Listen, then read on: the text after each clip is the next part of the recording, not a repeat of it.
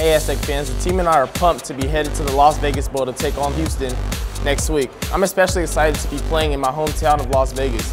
Your support has been amazing all season and I love to have you in the stands and cheering us on as the seniors and I play in our last game on December 17th. Be sure to order your tickets by calling the Aztecs ticket office at 619-283-SDSU or by visiting GoAztecs.com.